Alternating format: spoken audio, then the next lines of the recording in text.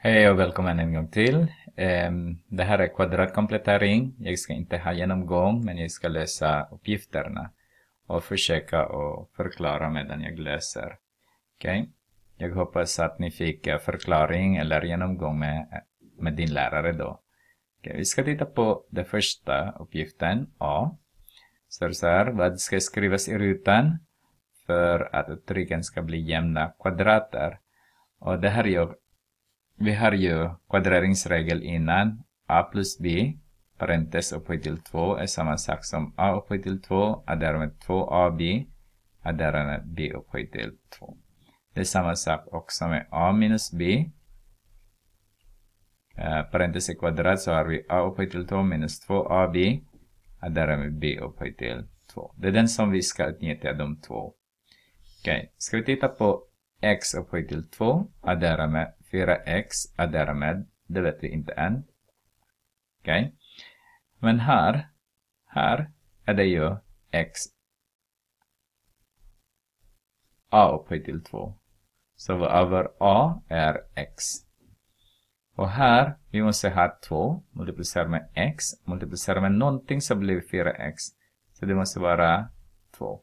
Så vårt b är lika med eh, 2. Så b upphöjt till 2 måste vara 4. Så den som ska stå här är det 4. Okej? Okay? Vi gör likadant med B. B.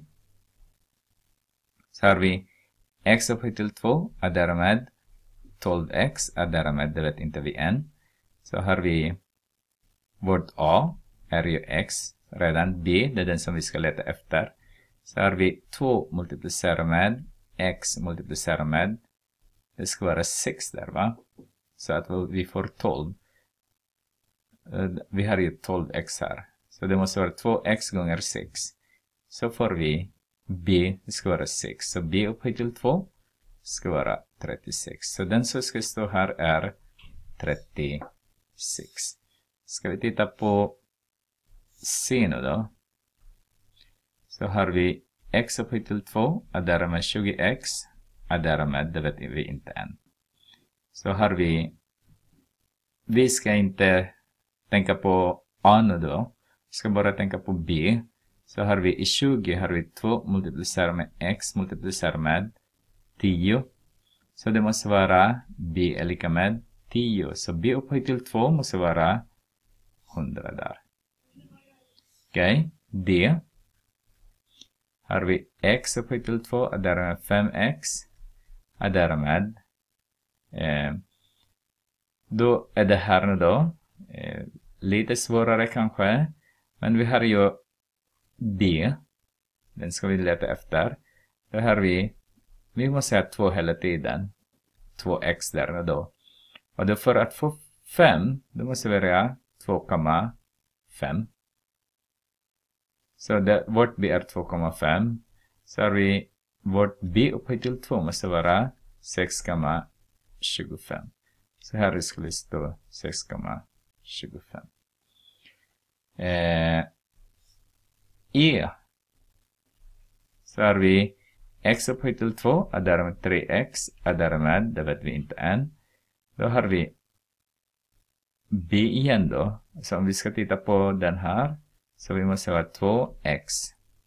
Och sen har vi för att få 3 så måste vi ha 1,5. Så vårt b är 1,5. Så b upphöjt till 2 måste vara 2,25. Så här ska vara 2,25. Alltså eh, 1,5 gånger 1,5 är ju 225. Samma som vi gjorde med 2,5. 2,5 multiplicerar med 2,5 är 600, 6,25. Okej, okay, nu är det F. f är ju x upphöjt till 2, är därmed x är därmed, det vet vi inte än. Så vårt b ska vi titta på här, 2x. Men vi har ju bara ett x där. Så det måste vara 0,5. Så b är 0,5. Så b upphöjt till 2 måste vara eh, 0,25. Så den här måste vara 0,25.